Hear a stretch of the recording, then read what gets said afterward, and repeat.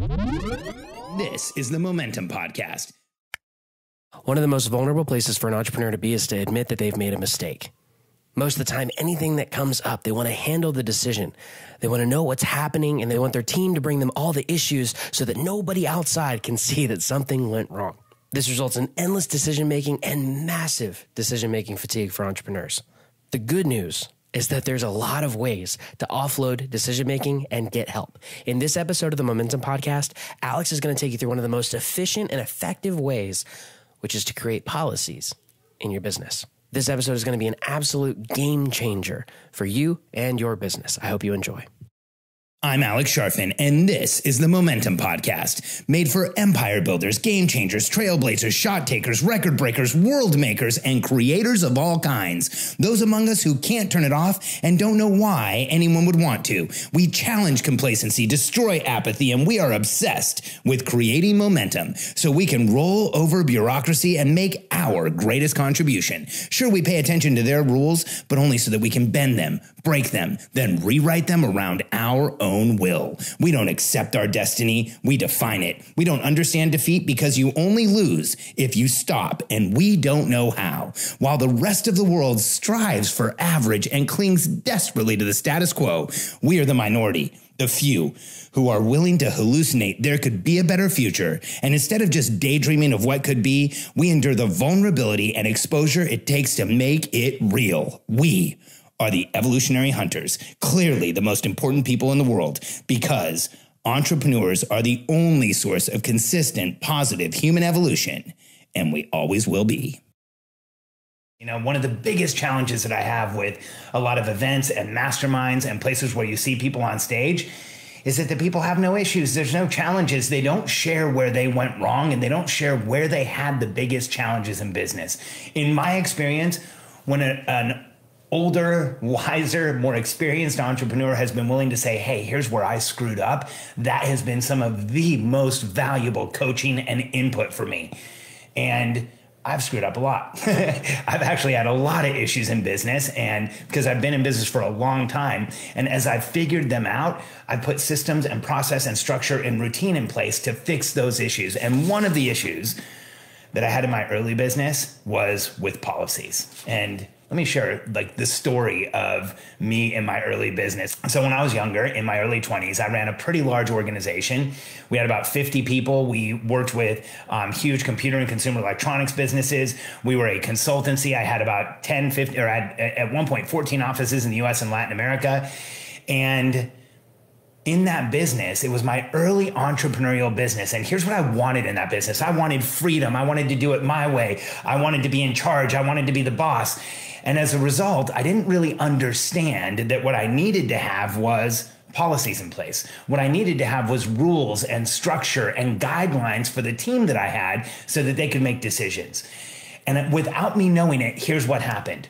Because I didn't have clear policies and core values and guidelines in place, my team always came to me for every decision, and I lived in a state of decision making fatigue. I didn't know it then. I just thought I was exhausted from working hard and being an entrepreneur. I thought that I was putting up with or tolerating what I needed to in order to have a successful business and a successful company. I thought that the endless streams of emails and phone calls and gotta minutes and meetings were all because I was being successful. I was running a business, and this is what I had to sacrifice. This is what I had to put up with. This is what I had to deal with. And today, I can't believe I felt that way because when you go from having no policies to starting to put policies in place, you stop decision making in the moment. You give your team the tools that they need to make decisions to move the business forward without you and you don't need to be constantly interrupted and constantly have people come to you.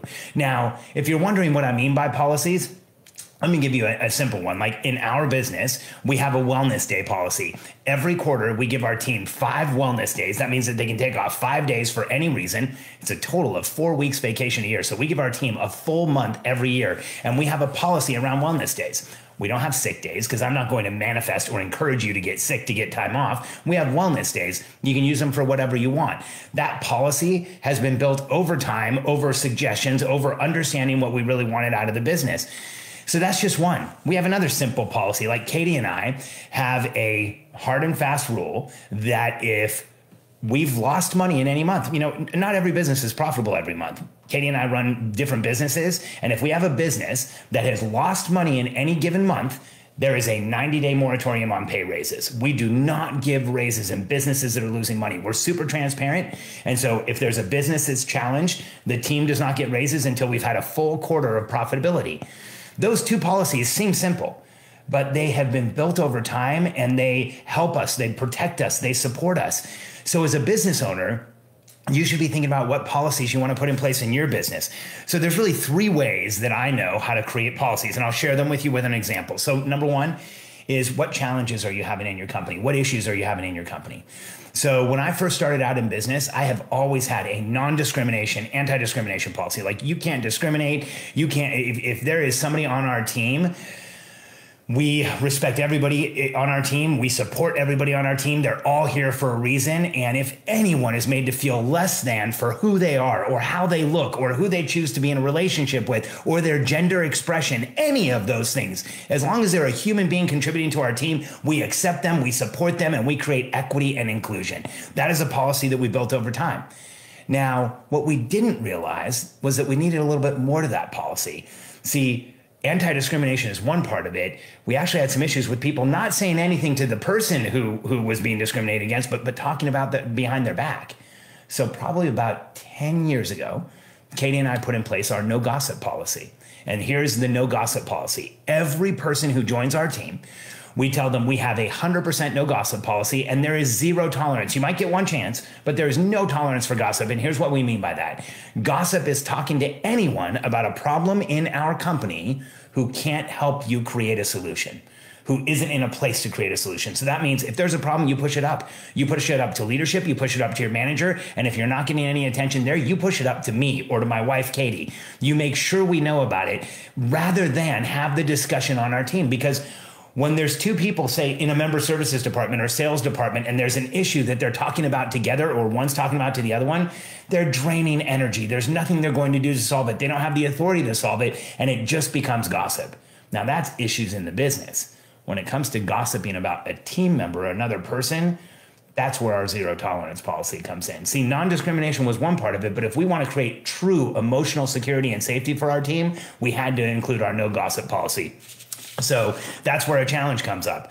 Discomfort is another place that you should create policies. If you feel uncomfortable with something as a business owner, create a policy. Here's what Katie and I found we're uncomfortable when our businesses aren't making money. If we see red in a single month, even if it's minor, it makes us uncomfortable. And we want to do everything we can to get that business back to profitability. And we mandate that it get, becomes profitable. A business only has one role in your life to make you wealthy. It might be fulfilling, it might be the impact you make in the world, all of those things. But the primary primary role is to make you wealthy. And so we require our businesses to do that when we didn't have that no raises policy in place, we didn't, when people would come to us and say, Hey, can I have a raise two months after we had lost money? We couldn't say hard and fast, Hey, we don't do this. Today, we don't do this. And our entire team knows it. So they won't even ask.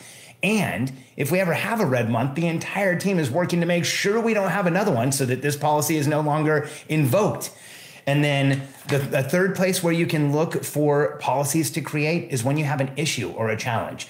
We have a ton of policies for how we handle things in our business. When there's a member services issue, we have return policies. We have uh, policies for when somebody is frustrated with our program. We have policies for how we handle just about everything, up to and including if there's an issue at one of our events. So our entire team knows that if there's an issue with our event, if, with one of our events, where a member is made to feel uncomfortable or less than or slighted or um, discriminated against for any reason, our team comes directly to us. It doesn't matter if I'm speaking at the event. It doesn't matter if there is something going on. It doesn't matter what's happening. But we have a policy that if a member has an issue, a challenge, some discomfort for them personally, that they come to me, either me or Katie. And that recently happened at an event we had somebody make an uncomfortable comment in a chat on a virtual event. Uh, our team saw it. They went to. I was I was actually speaking, so they went to Katie, who was available, and she immediately went and took care of it. Had a discussion, open discussion with the group about the comment and why it was uncomfortable and why it's not acceptable to us. And it was our policy that put us into that discussion.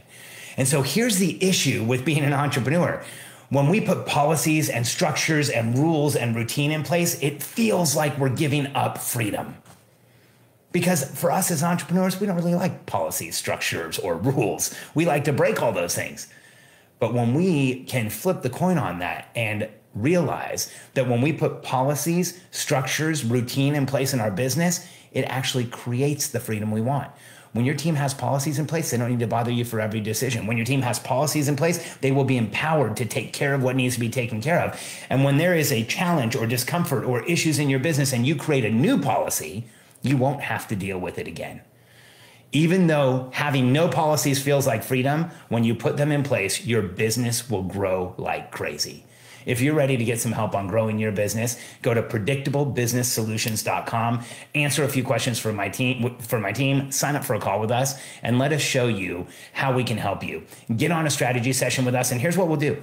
We will go through where your business is at, where you want it to go, help you understand the roadblocks that are, that are in place, and help you create a plan to move forward. Whether you pursue that plan with us or with somebody else, that's okay. We're consultants and we would love to help you. So go to predictablebusinesssolutions.com. We can't wait to see you there.